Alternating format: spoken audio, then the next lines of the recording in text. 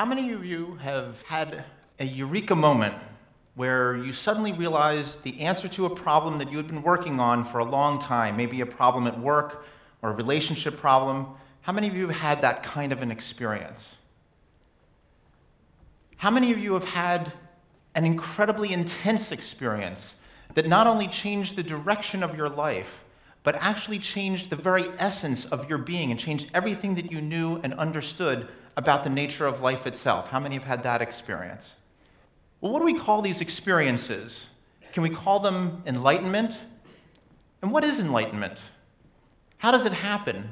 And how can we find our own path to enlightenment?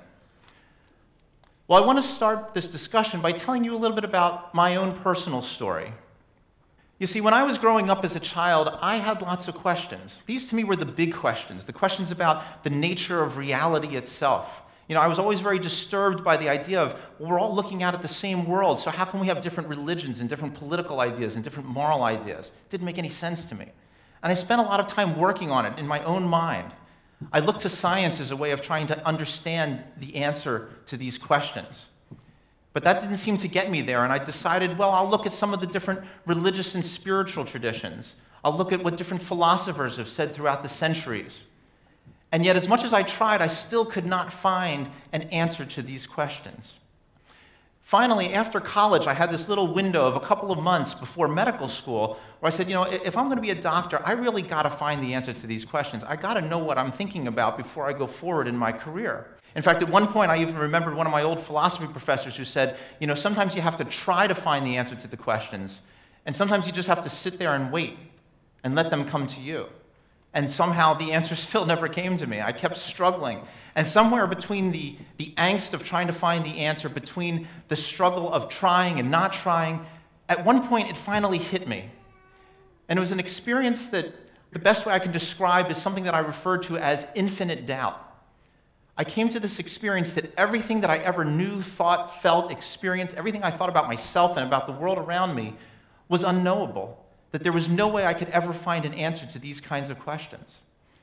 A couple years ago, I was telling my colleague, Mark Waldman, about this experience.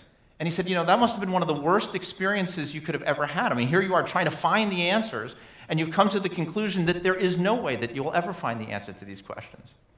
And I thought about that for a moment, and I said, you know, but the funny thing about it was, was that it was actually one of the most calming, most blissful kind of experiences that I had ever had. I completely surrendered to this sense of doubt. And suddenly, I didn't need to find the answer to these questions anymore. And it was incredibly comforting. So, as I started to think about all of those experiences, I started to think about what these experiences meant to me and other people who have had them. It actually set up a whole path of my career to be able to explore the nature of these experiences and to try to understand them. And it has led to a culmination, if you will, about two lines of research that I've been involved in over the last 20 years. One of them is the use of brain scans to peer into the brains to see what the activity is in people who are engaged in these kinds of practices. And the other is an online survey I've run over the past five years asking people to describe for me their most intense spiritual enlightenment types of experiences, with the hope that somewhere between understanding the biology of these experiences and the subjective aspect of these experiences, that we could somehow get a better understanding of what enlightenment is all about and help all of us find our own paths towards enlightenment. So I came to the idea that there are five core elements of the enlightenment experience. And the first one is a sense of intensity. And here's a description of that intensity in a 43 year old man who gave us the information on our website. He said, I was traveling down an infinite roller coaster, like waves of pure white ecstatic light. The ecstasy was overwhelming, and the light was infinitely more real than anything I had ever experienced. Well, where in the brain does this happen? Well, I want to show you several different brain scans, and these are all brain scans that look at changes in blood flow in the brain. Blood flow mirrors activity. The more active a particular area of the brain is, the more blood flow it gets. So the red areas are the most active, followed by the yellow, the blue, and the black. So if something goes from yellow to red, it increases in activity. And if it goes from red to yellow, it decreases. Well, there's an area of our brain where this arrow is, which is looking at what's called the limbic system that helps us with our emotional responses. And when anything of great importance happens to us, something very intense happens, our limbic system is the area of our brain that seems to light up when that, when it happens. And so, if you look at this resting state of the brain and compare it to what's going on when the person is engaged in a practice like meditation, where they feel this incredible intensity of experience, this area lights up, it becomes all red. And that's what helps us to experience enlightenment as one of the most intense experiences that you can possibly have. The second core element of enlightenment experiences is a feeling of clarity, as described by this 37 year old scientist. She said, Everything in life seemed to click. I had this clarity, and it was as if I was looking at life from the inside out. Now, this is a very important aspect of these experiences because people, when they have them, it's like they get it for the first time. They understand life, they understand themselves, they have figured it out. Where does this happen in the brain? Well, just above the arrow is a very central structure of the brain called the thalamus. And the thalamus takes our sensory information and helps us to construct our view of reality. And you can see that at rest, both sides of the thalamus are pretty equal. But when a person engages in a practice like meditation or prayer, where they feel this intense sense of clarity and understanding, something dramatic changes in the thalamus. One side becomes much more active. And this helps us to understand how our brain rearranges and feels that sense of clarity as the person has this profound experience. The next core element is a sense of unity, oneness, or connectedness. As described by this 65 year old Jewish woman, she said, I felt an energetic merging and being at one with the most powerful creative force in and beyond all universes. Well, where does this happen in the brain? Well, at the back of our brain is a part of our brain called the parietal lobe, which takes all of our sensory information and helps us to construct a sense of ourself and how that self relates to the world. It's denoted by the arrow here on this scan.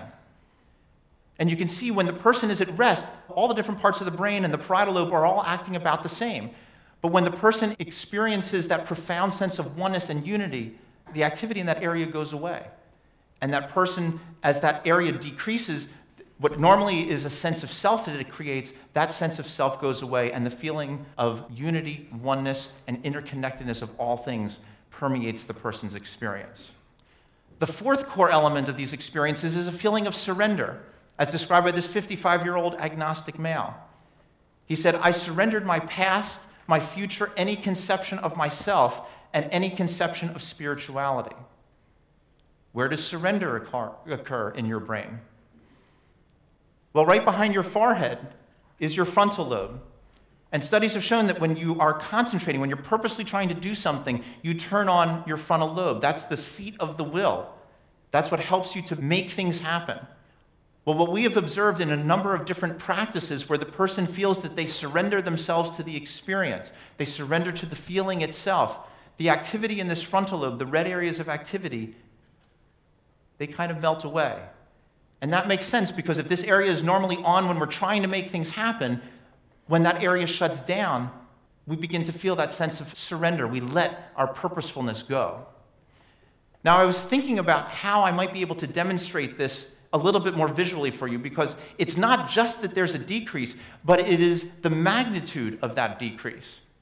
And I thought about this for a while and, and I was really struggling with it. And I actually had a little epiphany myself because I was in the grocery store and, and I reached over and I got this little watermelon for my daughter. And I thought, you know, it kind of looks like the size of your head a little bit. And I started to think about the analogy of this watermelon in relation to our brain and enlightenment. And I thought, you know, this really is a great analogy for our brain because inside is where our brain is, just like it's inside of our skull. And it doesn't really have a clear way of connecting to the outside world. I mean, sure, I could knock on it, and I guess maybe you'd hear the sound inside, but there's really no way to connect the outside world to the inside of this watermelon. Now, if I wanted to enlighten this watermelon and expose it to the light of the universe, so to speak, one way to do it would be something very rational. I could cut through it, open it up, and to some degree, I've exposed part of it to the world, but that still isn't exactly what I'm talking about. I would like to find a way to really radically open this watermelon up. If I really wanted to try to change this watermelon, I'd have to climb up to the rafters or climb up onto the ceiling and give it and see if what would happen if I were to drop it all the way from there. So let's take a look at the, this video to show you a little bit about what that would look like.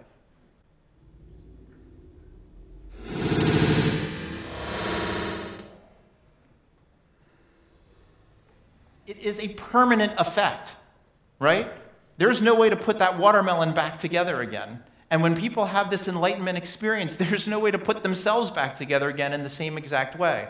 In fact, when we asked people in our survey, how did this experience change who you are? They said that it changed everything about them. It changed their sense of relationships, their sense of, re- of, of life, death, their sense of health and well being, their sense of religious and spiritual selves, and almost all universally for the better. So, this is an incredible experience that transforms your life totally and permanently, and we can see exactly how this happens in the brain. This is going to be the last scan I want to show you because this is actually my scan. And it turns out that over the years, I've found a way to kind of connect back to that feeling of infinite doubt. If I just do a little meditation, I can rest within that feeling of infinite doubt.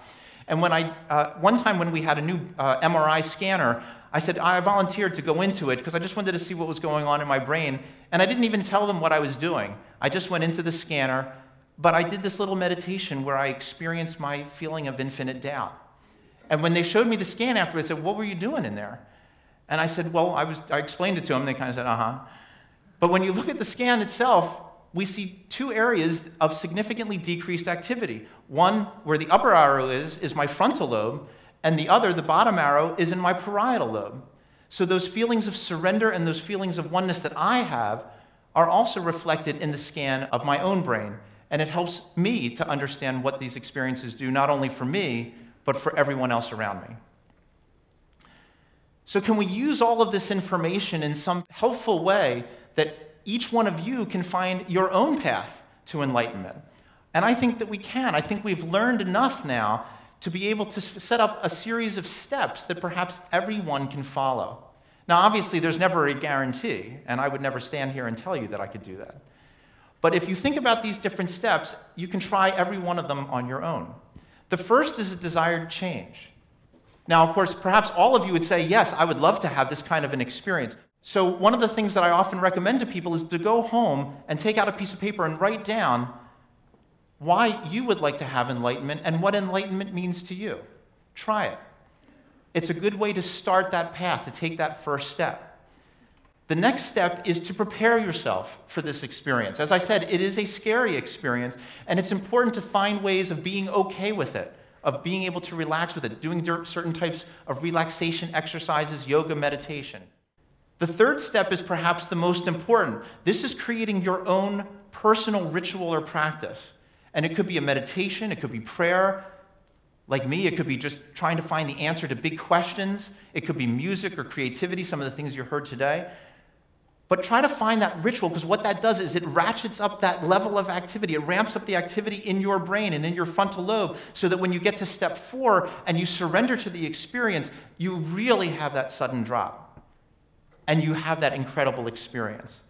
And then finally, reflecting on your experience because that's what helps you to bring that experience back into who you are as a person, what it means to you, and how you can understand it.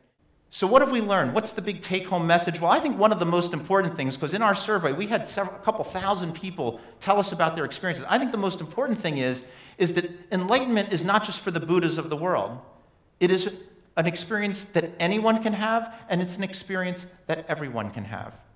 And you can imagine what a great world this would be if we all found our own path to enlightenment.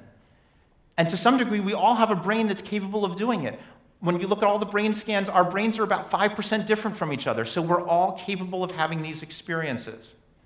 So, what have I given you today? Hopefully, I've given you a map. I've given you a guideline to your own path of enlightenment.